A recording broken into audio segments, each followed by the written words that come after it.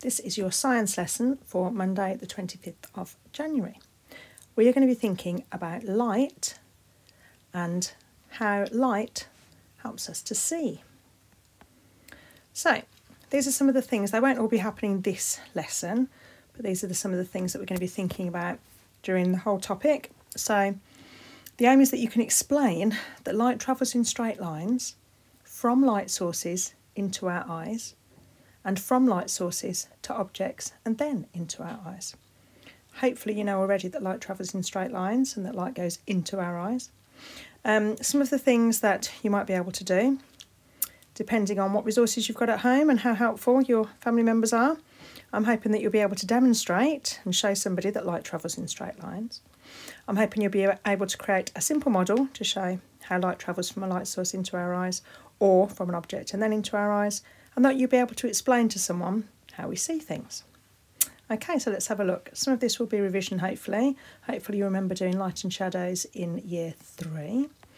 Um, so, where does light come from? So have a little think for a moment. Maybe tell somebody if you're working with somebody. Where does light come from? Pause the video. Okay. Light seems to be all around us, but where does it actually come from? Now, this is what I want you to actually stop and do, or after the video I want you to do it.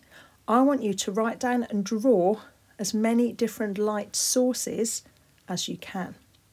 Now what I'd like you to do, I'd like you to split up your page and think about man-made light sources and natural light sources.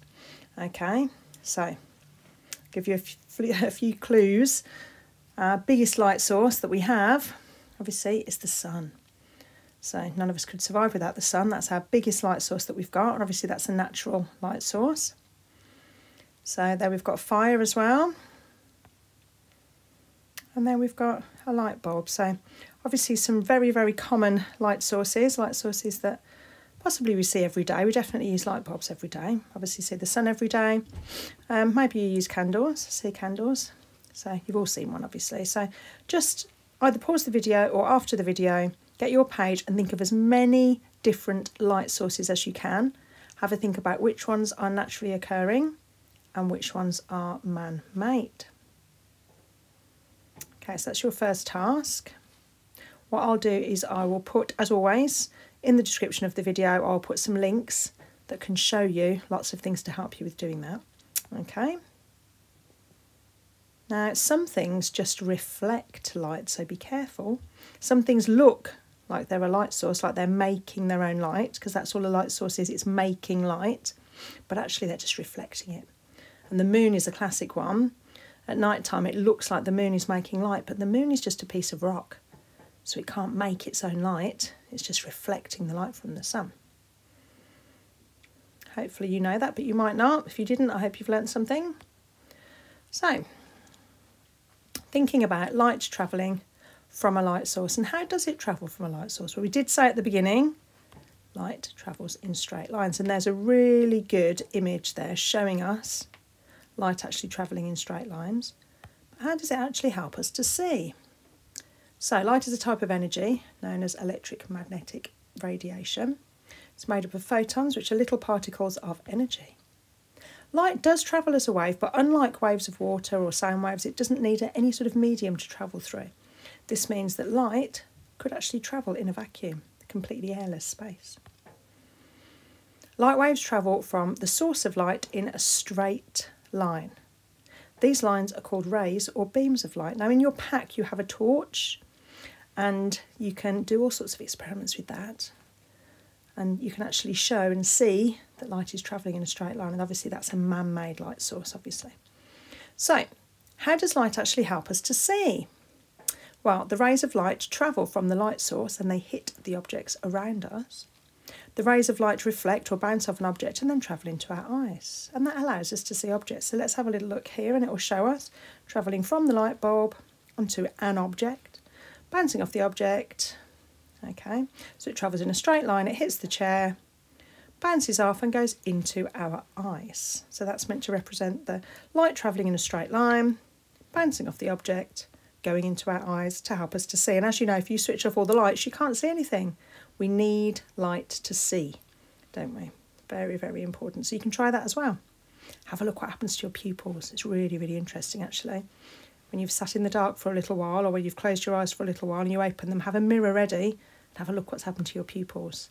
Because your pupils, your pupils want to let in as much light as possible.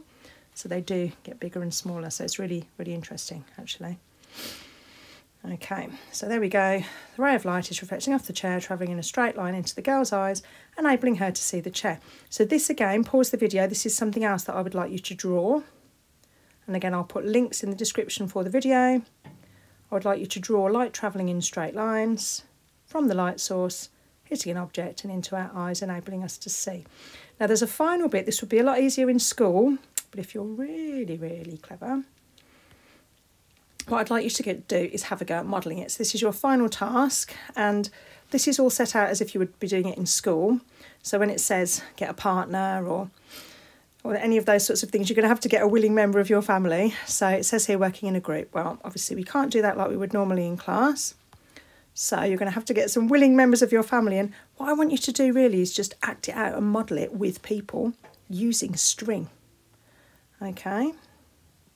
And obviously you can't show it to the class, but talk about it with your family. Try and model it with your family, okay, using string to show how light is travelling in a straight line from the light source, hitting an object and then going into your eye. So a few tasks there that you can be getting on with year six.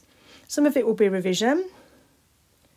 And always look in the description under the video for other things to click on, other little videos to watch to help you with your understanding of this, thinking about light and how we see things, knowing that light travels in straight lines, knowing that light travels from a light source, and having a little think about natural and man made light sources. So, lots to think about, hopefully, but super interesting stuff.